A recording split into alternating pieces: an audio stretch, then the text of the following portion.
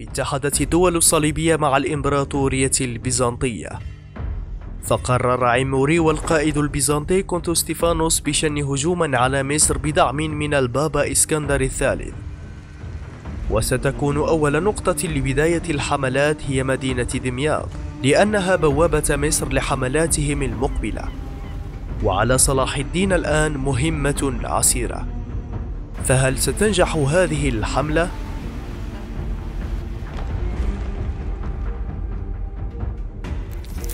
بعد سقوط مصر في أيادي الزنكيين. بعث الملك عيموري رسله لإرسال حملة صليبية جديدة شارحا خطورة الأمر وتغير ميزان القوى في المنطقة. كما رأينا بالضبط في الحلقة السابقة كيف نجح ملك نور الدين الزنكي من توالي مناصب في الدولة الفاطمية تحت إشراف أسد الدين شيراكوه وصلاح الدين الأيوبي وهدم طموح الصليبيين الاستيلاء على مصر. بعدما راسل عموري استجاب البابا إسكندر الثالث وبعث رسائل إلى ملوك أوروبا لكنها لم تجدي آذانا صاغية. في حين نجح رسول المرسل إلى القسطنطينية بسبب إدراك الإمبراطور عمانويل كومانينوس اختلال توازن القوى في المنطقة. فعرض التعاون مع الدول الصليبية ومنحهم الأسطول البيزنطي مع حملة عموري الأول الذي وجد الفرصة المناسبة بسبب انشغال الملك نور الدين زنكي في مشاكله الداخلية. بالإضافة إلى وفاة أسد الدين شيراكوه وتعين صلاح الدين خلافا له والذي كان الملك عموري يراه شخصا غير محنك. بعد ضبط الحملة وخطة الحصار صار عموري على طول ساحل البحر الأبيض المتوسط. مما قد جمع القائد كونت ستيفانوس أساطيلا بحرية ضخمة لغزو ميناء دمياط لدخولهم إلى مصر. توقع صلاح الدين هجوما من الصليبيين لكن ليست بهذه الطريقة. كان يعتقد أن غزو الصليبيين سيكون عبر شبه جزيرة سيناء ولم يتوقع أن يأتي من البحر. فعندما علم صلاح الدين أن هناك أسطولا بحريا ضخما في طريقه إلى مصر كان عليه الآن إيجاد طريقة لتأخير الغزو. فرأى الأمر أنه سيستغرق بعض الوقت لإرسال تعزيزات إلى المدن الساحلية. لذلك أرسل رسلا لأولياء المدن يطلب منهم إغلاق مداخل البحر حتى لا تدخل الأساطيل البحرية عبر الخط الدفاعي. ورسلهم أيضا بأن التعزيزات كانت في طريقهم. وهذا ما تم بالفعل. قرر صلاح الدين الخروج بقوات دفاعية مجهزة بالتمركز قرب من مدينة دمياط بقيادة خاله شهاب الدين محمود وابن أخيه تقي الدين عمر. ولم يخرج هو بنفسه لردع هذه الحملة لأن الوضع لا زال غير مستقرا في ظل الخلافة الفاطمية. لكن رغم ظروف الدولة كان على خط الاتصال مع خاله وابن أخيه. وفور تلقي الأمر من رسل صلاح الدين عزز المدافعون دفاع المدن ورفعوا السلاسل الحديدية عبر فرع من الإسكندرية إلى ميناء دمياط لردع السفن من دخولها إلى البلاد. وصلت القوة الصليبية بقيادة عموري قبل الأسطول البيزنطي وتمركزت قرب مدينة دمياط للمعسكرة هناك والشتاء قد غمر عليهم.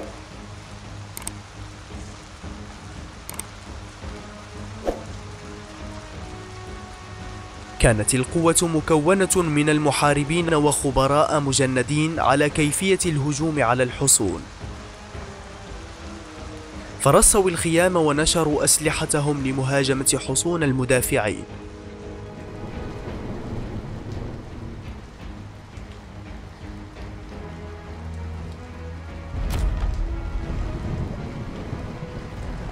وصل الأسطول البيزنطي الذي كان يترأسه القائد كونت ستيفانوس فدهش من مشهد الذي أمام عينيه فغابت الحلول من ذهنه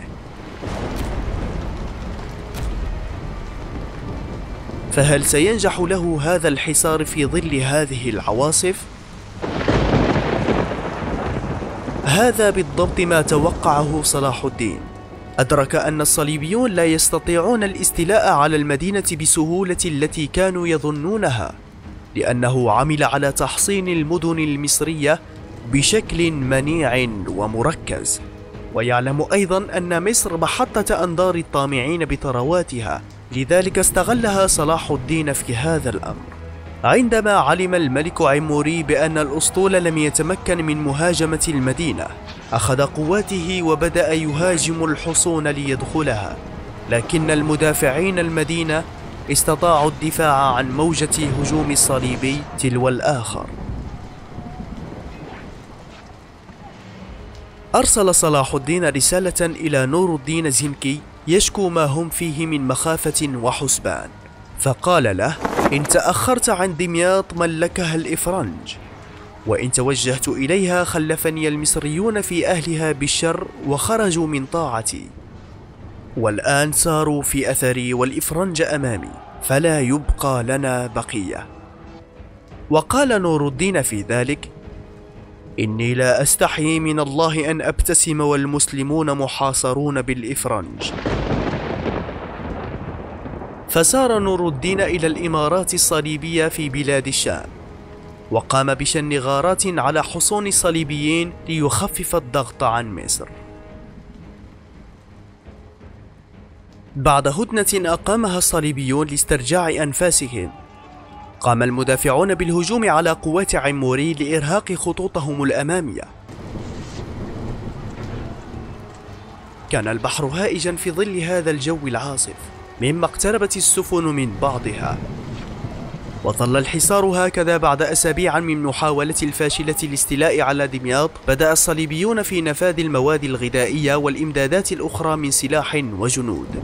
وفي إحدى المرات أرسل المدافعون عبوات النار إلى قرب الأسطول البيزنطي. وفور وصولها إلى الأسطول انفجرت عبوات مخزنة داخل السفن الحربية مما تسببت في ضخامة الانفجار.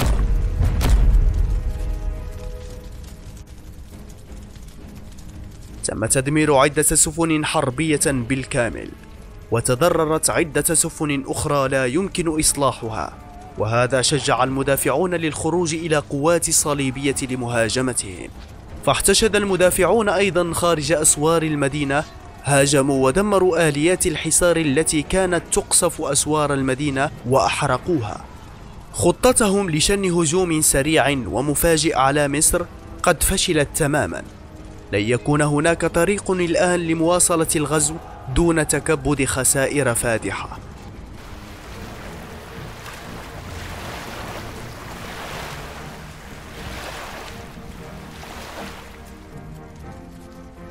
فجمع عموري قوته وقرر المغادرة. على الرغم من أن حصار دمياط لم يكن شديدا مثل الغارات الأخرى من قبل الصليبيين فكان هذا في الواقع ضربة قوية لمعنويات الصليبيين. كان فشل الحصار له تأثير كبير على مملكة بيت المقدس التي تغير حالها من الهجوم إلى الدفاع. وأثبت هذا الانتصار قيادة صلاح الدين المقتدرة.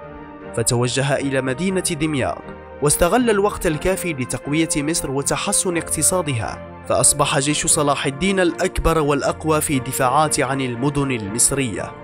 ورغم أنانية الأعداء واعتبار صلاح الدين غير محنك فهذه الحملة عززت هيبة صلاح الدين بقوة فأصبحت القوى الطامعة تضرب له ألف حساب.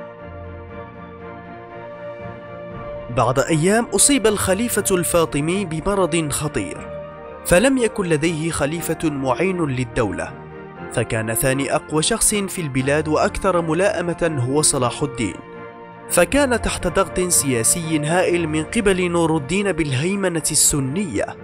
وبعد أيام قليلة توفي الخليفة الفاطمي العاضد لدين الله سنة 566 هجرية وأتيحت الفرصة الآن لصلاح الدين بتأسيس سلالته الخاصة فأصبح صلاح الدين الحاكم الفعلي في مصر. ليس لأحد فيها كلمة سواه. وبهذا زالت الدولة الفاطمية تماما. بعد أن استمرت قرابة قرنين ونصف وأنشأت مكانها الدولة الأيوبية. أخذ صلاح الدين يقوي مركزه في مصر بعد زوال الدولة الفاطمية ويسعى من أجل استقلال بها. فعمل على كسب محبة المصريين وأسند مناصب الدولة إلى أنصاره وأقربائه. أزال أصول المذهب الشيعي الإسماعيلي وأبطل الآذان الشيعي بالآذان السني وأمر بأن يذكر في خطبة الجمعة خلفاء الراشدون جميعا ووقف شتم الصحابة أجمعين ونقل أسرته ووالده نجم الدين إليها ليكونوا له أعوانا مخلصين. وأسس مجلس الشورى يضم أهله وأعوانه. تخوف نور الدين زنكي من تزايد القوة التابعة لصلاح الدين. كانت العلاقة بينهما على فتور أصلا منذ أن تولى صلاح الدين الحكم في مصر. فبدأ هذا التوتر عندما تأخر صلاح الدين في الخطبة للخليفة العباسي المستضيء بالله في بغداد حتى توعده نور الدين بالمسير إليه. في نفس السنة الهجرية 566 قرر صلاح الدين الهجوم على قلعتي الكرك وشبيك في صحراء النقب بعد أن كانتا تحت سيطرة الصليبيين ونقطتين مهمتين لعبور قوافل إلى شبه الجزيرة العربية وقرر تأمينهما فكان حصارهما منيعا جدا. فبعد أن استولى على قلعة شوبيك ذهب إلى الكرك وعلم نور الدين بهذا فأرسل بضعة جنود ليوقفه عن سيطرته. فرجع صلاح الدين قبل أن يلتقي بنور الدين خوفا من أن يعزله الأخير عن مصر وأن تؤدي السيطرة إلى القلعتين إلى فتح طريق أمام نور الدين إلى القاهرة. فانسحب صلاح الدين متذرعا بالأوضاع الخطيرة فعند وصوله إلى القاهرة جمع مقربيه في ديوان وشاورهم بالأمر قال ابن أخيه يجب أن نخرج معه وجها لوجه. إلا أن والده وخاله منعوه من ذلك. وطالب والده بإرسال رسائل الاعتذار والتبرير لنور الدين. فعند وصول الرسالة إلى نور الدين لم يقتنع بأي من تلك التبريرات وعزم على تسيير حملة إلى القاهرة لخلع صلاح الدين في أقرب وقت متاحة واستبداله. كان ابن أخيه تقي الدين مصر على توسع أراضي صلاح الدين في الغرب. ويسابق الموحدين الذين كانوا يحكمون بلاد المغرب ومصرون أيضا لضم تلك الأراضي. فقرر صلاح الدين في مجلسه بتوسعة أراضيه وتأمينها. فسارت حملة بقيادة ابن أخيه تقي الدين ضمت الأراضي برقة وصولا إلى طرابلس وقابس.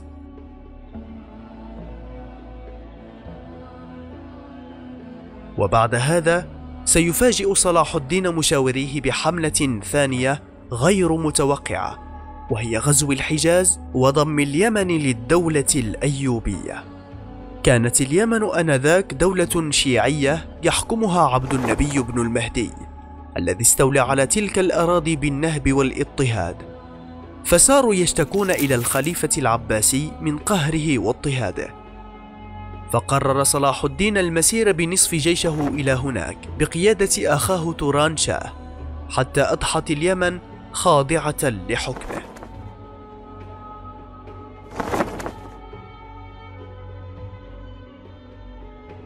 في عام 569 هجرية بدأ نور الدين في إعداد جيشه لغزو مصر. وبدأ صلاح الدين الاستعدادات للدفاع عنها. ولكن أثناء الإعداد توفي نور الدين بعد أيام قليلة فقط. فكان خليفة من بعده ابنه صالح إسماعيل يبلغ من العمر أحد عشر عاما فقط.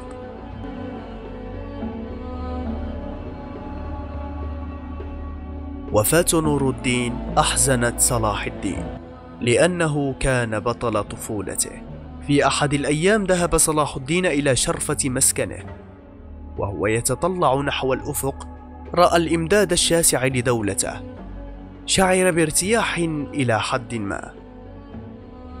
فكان أمامه خيار حاسم وهو أن يدخل دمشق ويسيطر عليها ويتولى شؤون البلاد بنفسه ويحضرها لقتال الصليبيين. غير أنه تردد في هذا الخيار سينظر إليه أنه قد شق عصا الطاعة ونكر المعروف. اختلفت الأحوال بالشام فنقل صالح إسماعيل من دمشق إلى حلب مع سعد الدين كمشتكين واصيا عليه حتى يبلغ أشده بعد أن كان ابن عمه شمس الدين بن المقدم معهودا به.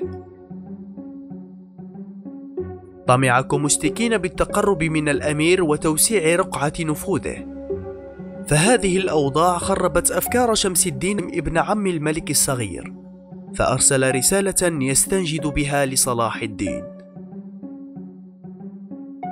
فقام صلاح الدين بكتابة رسالة طويلة مفصلة حول إنجازاته وتقرير بلاده وأنه الشخص الملائم لتولي مصالح الملك الصغير وأنه وارث الحقيقي لمملكة نور الدين زنكي. وأرسلها إلى الخليفة العباسي المستضيء بالله.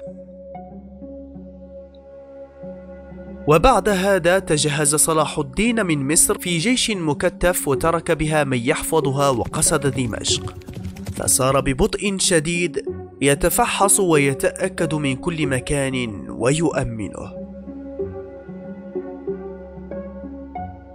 كانت مدن الشام الداخلية باتت مستقلة عن أي تبعية حكم الزنكيين بعد وفاة نور الدين. ولهذا قرر صلاح الدين ضم بلاد الشام إلى الدولة الأيوبية. ويوحد المسلمين تحت راية واحدة وسيبدأ من دمشق عاصمة السلالة الزنكية. وصل صلاح الدين إلى دمشق واستقبله أهلها بكل ترحاب وود. وتمكن من تملك دمشق دون أي قطرة دم. ثم وصلت هذه الأخبار إلى أمراء حلب فصاروا يكتبون رسائل تهديد باسم السلطان الصغير. فراسل صلاح الدين السلطان الصغير بأنه جاء لإعانته في أموره ويوحد المسلمين تحت راية واحدة ويعلو على الصليبيين ويطرد الإفرنج من الأراضي المقدسة. فبعد اقتناع الأهالي دمشق بصلاح الدين استناب أخاه سيف الإسلام طغوتكين على دمشق قبل انطلاقه لضم باقي مدن الشام. ثم توجه صلاح الدين نحو مدينة حمص. مناعة أسوارها لم تمكنه من فتحها. لذلك ولى الحصار عليها في بضعة جنود.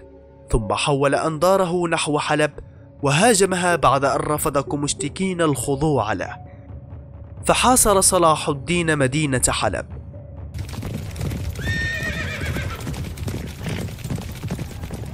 أظلم الليل وعسكر جيش صلاح الدين هناك.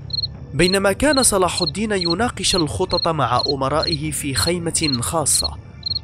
وصلت أخبار إلى صلاح الدين مؤخرا عن قيام الصليبيين بحملة بقيادة ريموند الثالث حاكم طرابلس. جمع قواته وأراد الإغارة على حدود الأراضي تابعة لصلاح الدين في حمص. ثم بعد ذلك بسويعات قليلة هرع شخص ما إلى الخيمة في الظلام. وكان يرتدي ثيابا سوداء وبيده خنجر حاد فوثب على صلاح الدين في محاولة طعنه. كانت هذه أول مواجهة لصلاح الدين مع طائفة الحشاشين. لماذا يا ترى حاولوا قتل صلاح الدين؟ هذا ما سنعرفه في الحلقة القادمة. انضم إلينا لنكتشف كيف واجه صلاح الدين هذه العواقب.